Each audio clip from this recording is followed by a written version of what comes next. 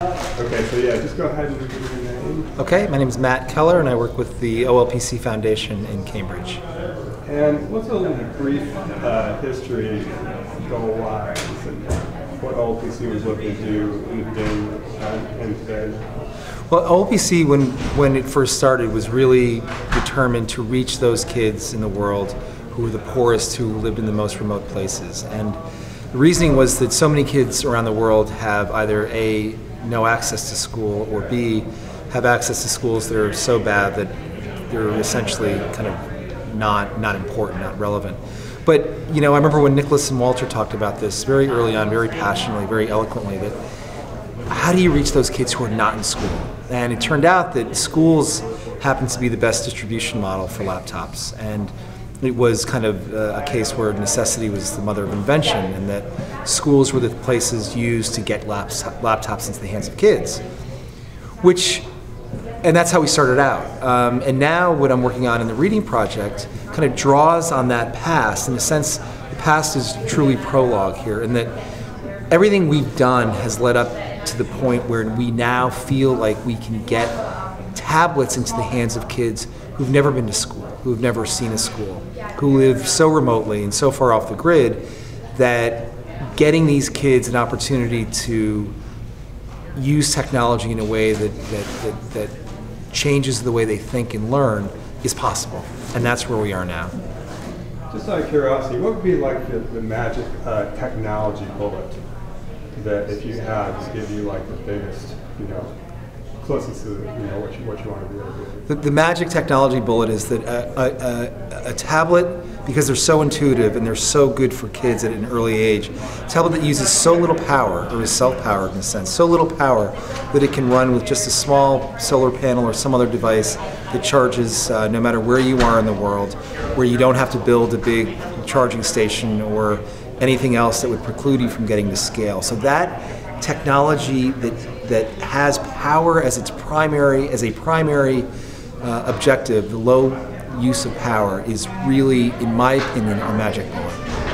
And then in terms of education, what kind of um, almost educational bullet, or what kind of uh, educational theory, or something like that, the problem could be solved that help you out the most? Well, I, it's, it's hard to say. I mean, you know, we're all big believers in the notion that a child can create his or her own learning environment, and a child that constructs her knowledge and her environment uh, is a child that thinks more critically, more rationally, more analytically. And so, any device that allows for the creativity uh, of a child to come through, which is not that hard to do because all children are creative, is good. Uh, you know, we see the kids with these tablets. These are non-constructionist tablets, but if you had a tablet that was constructionist, you had a tablet that allowed children to actually go in and create. I don't care where these kids are in the world; they're going to do some stunning stuff. Okay, and then what, what, what, when do you think the breakthrough will happen? Just out of, just if you could guess. I think uh, if we can prove that kids can teach themselves how to read using only tablets, if we can prove that children in the most remote places on earth can manipulate the technology in such a way that they can do things that we can't do here, uh, and the world takes note of that, that's going to be a major breakthrough. That's a big deal.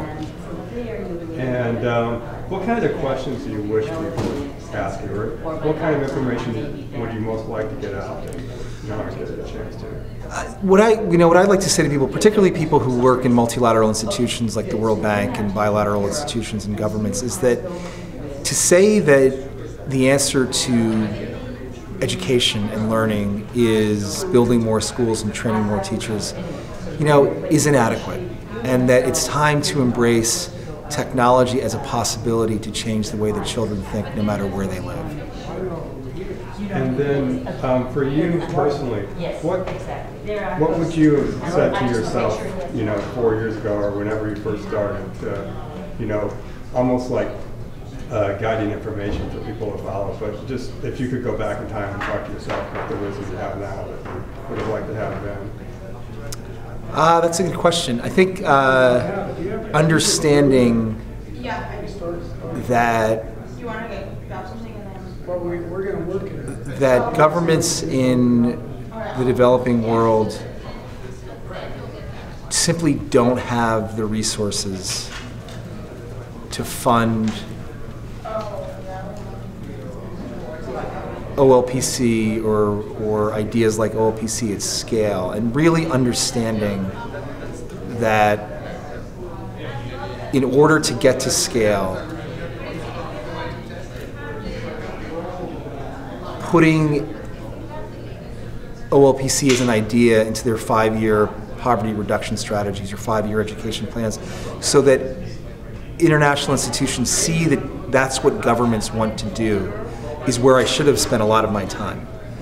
Um, because that combination of the World Bank and the government, of DFID and the government, of USAID and the government working together was what could have gotten this idea to scale. And I think my fundamental mistake was not realizing that early on. Well, and then one other thing, I mean, we're here at OLPC San Francisco Summit. What do you think is like the best, um, in terms of the volunteers, if people are doing this, like, what advice would you give to them for like the best way of, you know, progressing this along?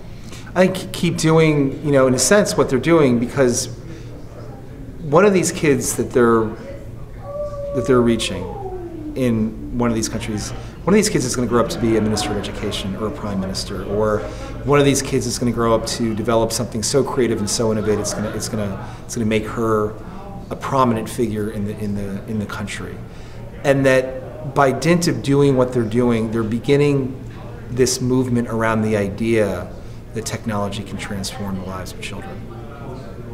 Cool. Excellent. Yeah, that's great. Thanks. All right.